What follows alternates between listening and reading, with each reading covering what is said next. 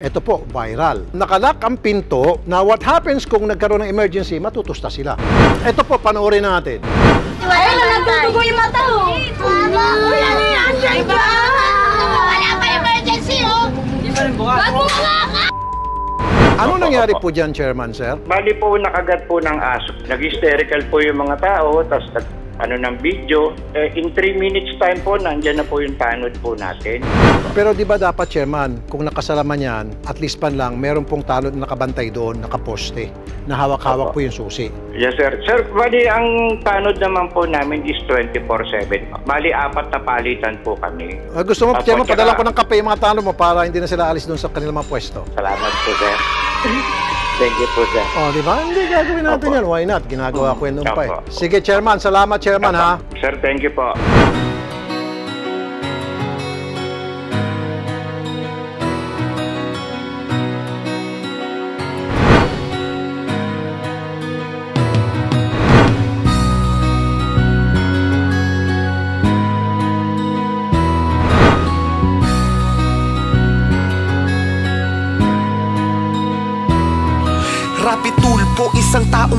Taong hindi ka iiwanan Basta nasa tama ka, ilalabang ka ng patayon. Kahit na sariling reputasyon niya ang itaya Ipagtatanggol ka niya kahit siya ang mapahiya. Ang sarap kapag panatagsan man ng iyong tungtungan Dahil merong rapid tulpo ka na masusumbungan. Pag sa hirap ang lahat ay gusto mo ng tuldukan Gagawa ng paraan pa siya ang iyong tinakbuhan. Di lang basta solusyon sa iyong pinagdadaanan. Maraming mahirap ang binigyan ng kabuhayan Mga tao na Ah, magandang araw po, Kapitan. Ano po ba ang ating naging aksyon matapos po kayong matawagan ni Sir Rafi kahapon?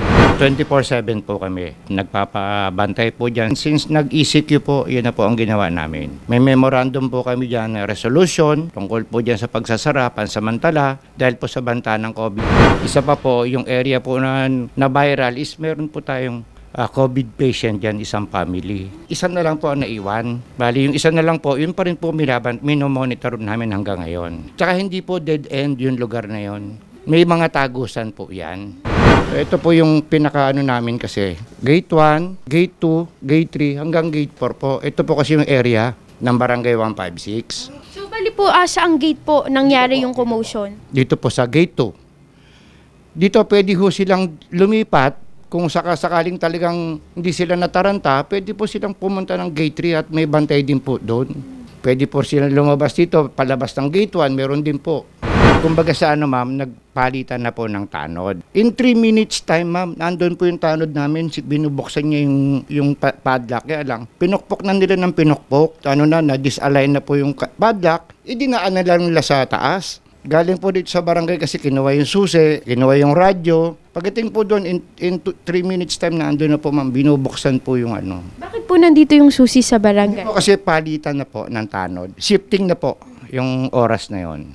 Pero ma'am, hindi ho kami nagpabaya. Sandaling sandali, tatlong minuto ma'am, kung ini- inilabas sila sa ibang sa ibang gate, ma'am, makakalabas po sila.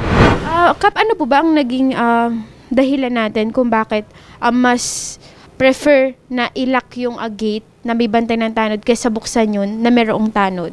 Kasi ma'am, marami hong pasaway po talaga. Kita nyo ma'am, nakita nyo naman po yung viral videos nila. Wala silang mga face mask. May COVID patient po doon. Pinag-usapan po namin yan ng mga konseho na ganito gagawin namin para one exit entry point lang po tayo para ma-monitor po namin yung lumalabas at pumapasok na tao. Bawal din po kami magtanggap ng time na yun ng mga bisita. Pero sa ngayon po kasi may mga dala, dala silang certificate, pinapapasok na rin po namin yung bisita pero hindi sila pwedeng tumagal. Ma'am, sa amin po talaga ma'am, di ho kami nagpabaya sa trabaho namin. Sa tungkulin, 24-7 ma'am ang trabaho. May CCTV po kami ma'am. Nakatutok ma'am sa mga gate namin ang CCTV po namin. Ah, kaya po nalaman agad. Apo, alam po lahat. Ah, na ano namin kaagad, na respondihan po namin kaagad. Sa mga netizen po na nagsasalita ng kasi hindi po nila alam kung ano yung sitwasyon dito sa barangay. Sa barangay po kasi, hindi ho namin ipapadlock yan kung dead end po yung lugar na yan. May labasan po yan. Lahat naman po na nakatira dyan, alam nila kung saan sila dapat lumusot. In case na emergency po na sunog, may hinanda po kami dyan since na hindi pa po nagkaka-COVID. Nag-deploy na po ako kasi ang ng mga fire extinguisher dyan. May mga naka-allocate na bahay po dyan na may malalaking fire extinguisher, naglagay kami. Eh, ngayon po, kay- sa request po ni Sir Rapi, ah, dinoble na po namin yung pag-iingat dyan sa lugar na yan. Sa ngayon, nakalak pa din yung gate. Opo. Kasi po yan dati, may binigyan po akong susi dyan sa malapit sa, sa gate ng katira. Nagbigay po ako ng dalawang tigisan susi sila in case na magkaroon ng emergency aber- aberya po dyan. no? Kaya lang po inabuso nila. Nagpapapasok po sila na hindi sila nagpapaalam sa barangay. Kaya binawi po namin sa kanila yung mga susi na yan. Sa ngayon po, ang mga susi sa bawat gate ay nasa tanod na. Opo. So, ah, Kapitan, okay lang po ba napuntahan natin ah, yung lugar po para ma-check natin kung talagang ah, doble na yung nagbabantay and at the same time, yung sinasabi niyo pong mga gate. Opo. Ito po yung gate na ano, na pinangyarihan ng viral video. Sa ngayon po, sino po ang nagbabantay dito na tanod? Sila pong dalawa. Ito po ba ay nakalak? Nakalak po. Hindi naman po, binubuksan po namin kung kailangan lang. Mga emergency. Sir, ah, so kayo po yung ah, naka-duty nung July 2 kung saan nangyari po yung insidente. Ano po ba yung nangyari nung time na yun? Pag-alis ko po ma'am, nangyari na po ma'am. Sino po ang rumesponde? Kayo po o yung ah, isang... Second po ma'am, yung kapalitan ko po ma'am. Ah, sir, kayo po ah, yung tanod na nakapalitan po ni sir. Yung, yung susi, hindi na nila kinuha. Kasi tayo hindi na mabuksan, pinupukpok na nila eh. Yung nga, parang, parang, parang mga reaction nila, parang hysterical.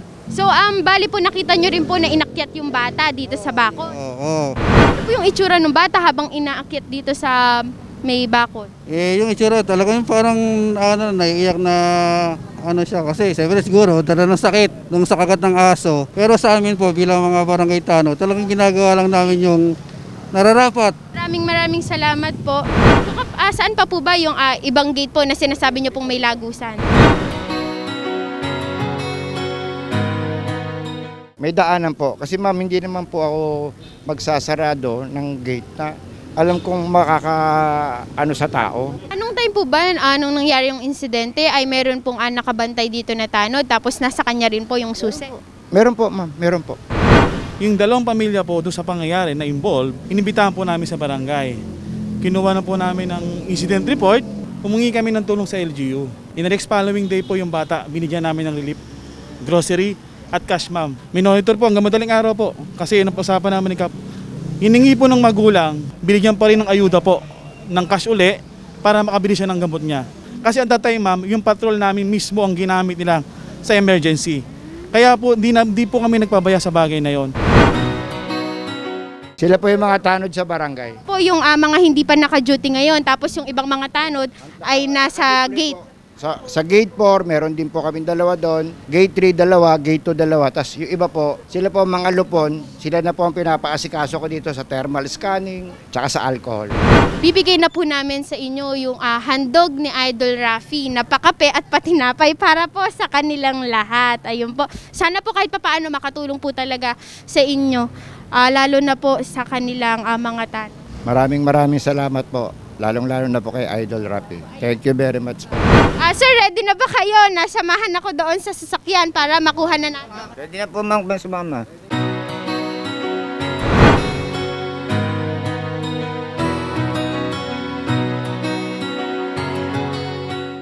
Ito po ay may laman po na kape, tinapay, tas may mga ah, paper cups din po para po hindi na po sila ah, mahirapan sa paghuhugas ng mga baso. Happy-happy po kami lahat. Salamat po. So ah, ngayon po, ano po yung nararamdaman nyo na meron po kayong pantawid gutom habang nagjo-duty kayo, lalo na kapag madaling araw? naibsan yung mga pagod namin dahil kahit papano napansin kami ni Sir Rapi Tulfo, si Idol, ito po ay talagang malaking tulong sa amin. Dahil ito ang tunay na pangangailangan talaga ng mga tanod dahil lag- lagi kami nagpupuyat, araw-araw yan, walang kapaguran. Pero ngayon, na nakita namin yung suporta niya, parang lalong lumakas pa kami. At lalo kami bubuti ngayon dahil nakatutok pala si Sir Rapi. maraming maraming salamat po. Rapi tulpo, isang taong hindi ka iiwanan Basta nasa tama ka, ilalabang ka ng patayon Kahit na sariling reputasyon niya ang itaya Ipagtatanggol ka niya kahit siya ang mapahiya Ang sarap kapag panatagsan man ng iyong tungtungan Dahil merong rapi tulpo ka na masusumbungan Pag sa hirap ang lahat ay gusto mo ng tuldukan Gagawa ng paraan pa siya ang iyong tinakbuhan Di lang basta solusyon solusyon sa iyong pinagdadaanan. Maraming mahirap ang binigyan ng kabuhayan. Mga tao na binuhay ang pag-asa na naglaho ng mga tao. Hi, hello. sumuko na sa buhay ibinangon niya. Paano po ba i- iyon nangyari? Um, nandun po ako sa kapatid ng mister ko, tinatawag ako ng anak ko, nakagat daw po nga itong anak ko. Pagtingin ko po siya, nasa labas na siya, umiiyak siya, hawak niya yung mata. Siyempre ako, parang nadala na po kasi ako sa mga anak ko, talagang mahilig sa ano, aksidente. Nag-hysterical ako, kasi sarado po yung gate. Tapos, wala po kaming nakitang tanod na naka-duty doon. Di lalo po ako nag-hysterical kasi umiiyak na siya. Mga ilang minuto, yun, yung mga ibang kapitbahay ko, sinisira yung gate, binaano para makalabas kami. Dumating din kasi naman yung tanod. Tapos, hindi agad nabuksan gawa nung bumaliko na yung ano, yung padlock. Ngayon, sakto naman tong anak ko, nawala na siya ng malay. Kaya, sumigaw ako na tulungan niyo ako nawala ng malay yung anak ko, inakyat siya sa taas. Siguro, syempre, ang daming tao, yung mga ano, bunganga ng bunganga. Parang natakot na rin yung anak ko, kaya nawalan siya ng malay, ganun. Kailan po ah, rumesponde yung tanod doon sa area nyo? Siguro mga 3 minutes din yun bago nakarating yung tanod. Ano ba yung nangyari? Bakit ka kinagat ng aso? Pagbigay ko ng tawag, bigla akong sinakmal lang aso sa mata. Yun bang aso na yun ay ngayon mo lang nakita o dati pa na nandoon sa ah, pinaglalaruan mo?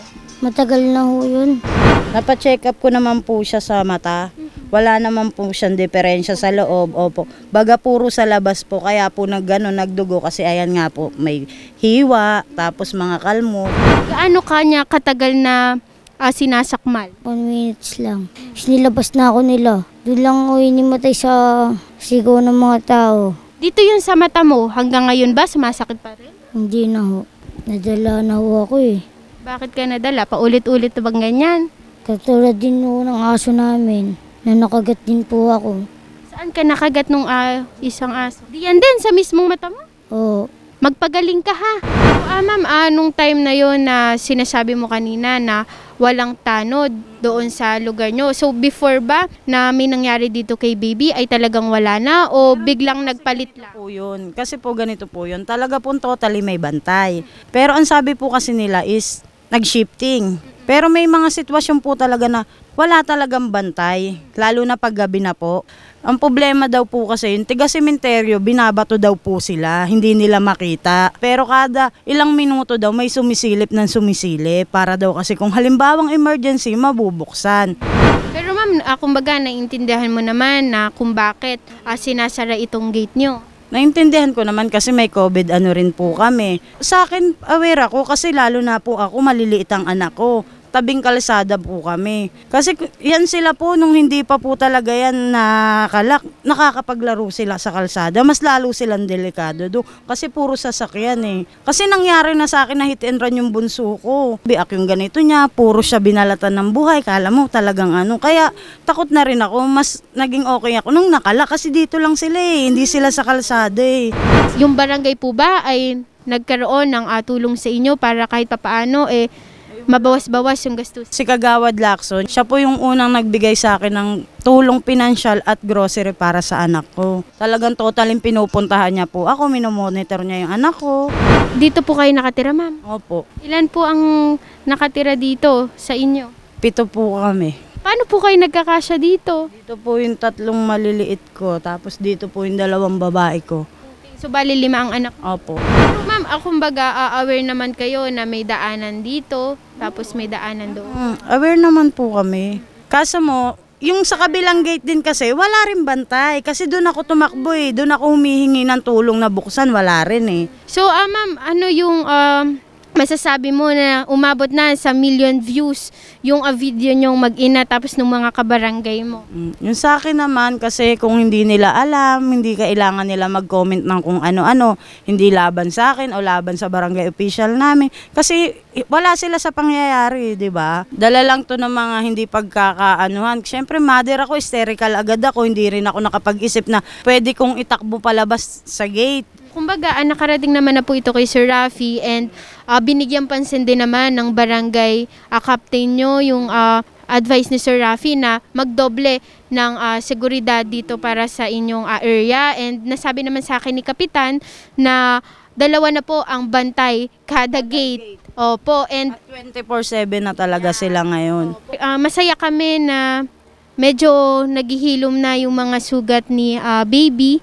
Kaya kami nandito ngayon is ah, bukod sa kumustahin ka at alamin yung kalagayan mo, eh meron ding ah, gustong ibigay sa'yo si Sir Rafi. Ito, yung ah, bigay sa'yo ni Sir Rafi, marami yan. May mga gatas and may mga fruits. Tapos, meron ding mga tinapay para ah, habang nagre-recover ka dyan sa mga sugat mo, ay makakakain ka ng mga masusustansyang pagkain. Okay ba yon? Opo. Salamat po kay Sir Rapi. Tulpo. Mabuhay po kayo. Ma'am, ikaw po yung ah, nag-post po ng ah, video po kung saan ah, makikita po doon na meron pong isang bata na in-over the bakod po dyan po sa gate ah, sa barangay nyo. Opo, ako po yung nag-post na yun. Ang pinaka-purpose ko po talaga is hindi yung para magpasikat po, ganyan, hindi para maka-earn ng money. Ang purpose ko po talaga is para makita rin po ng mga nasa taas kung ano pong kalagayan namin dito. Ngayon na lang po ulit nagkaroon ng bantay ang, ba- ang mga gates namin. Kung may bantay naman po, bakit hindi? Madali po makakapag-respond, eh, maka- madali po mabubuksan.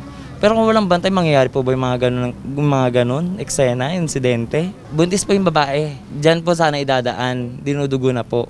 Hindi daw po pinayagan buksan yung gate. Pinaikot pa po, papuntang main gate. Ang ending po, pagdating, pagdating po ng ospital, nakakain na po ng dumi yung bata. Kasi hindi po agad na idala dahil sa gaano kalayo pa ang ikutin bago makalabas ng gate na to. Okay ba yung bata? Yes po.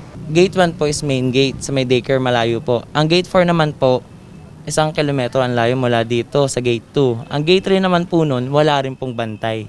Kasi lahat po sila nagpuntahan po ng barangay nun. Kaya ngayon po, paano hindi naman po mag hysterical yung tao? Parehong gate po, walang bantay. Pa po kami lahat preso dito.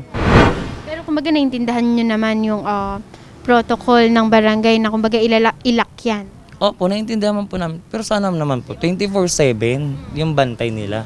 Pero kung di po nila magagampanan yung mga ganong protocol na ginagawa nila, alisin nila yung protocol na yan, buksan nila yung gate. Gayun lang po. Hilingin ko lang po sana yung mawala na yung pag-iinit nila sa akin. Kasi po napag-iinitan po, kagaya po kahapon ng umaga, may nagparinig pong barangay kagawad sa akin na bantayan niyo yung hayop na yan. Pipicture na naman tayo niyan. Ano yung gusto mong sabihin ah, kay chairman kasi siya yung talagang napulaan dito? Kap, pasensya na po kung sa'yo po napunta lahat ng mga ano, kasi hindi rin po natin maiwasan. Kayo po ang nagpatupad ng protocol na yan. On behalf of Sir Rafi, we would like to thank you kasi ah, naging concern ka sa ah, mga kabarangay mo dito. Sir Rafi, maraming maraming salamat po at na, na pag nabigyan nyo ng pansin yung nangyayari ngayon sa amin. Maraming maraming salamat po sa tulong nyo. Siyempre mga kapatid, sa mga hindi pa po nakakapag-subscribe, mag-subscribe na po sa YouTube channel ni Idol Rafi, Rafi Tulfo in Action YouTube channel. Thank you po sa lahat ng mga subscribers. Salamat po at pinalakas niyo po ating samahan. And maihabol ko lang mga kapatid, kapag nag-subscribe po kayo sa YouTube channel ni Idol Rafi, make sure po na pindutin niyo po yung bell button dyan sa gilid.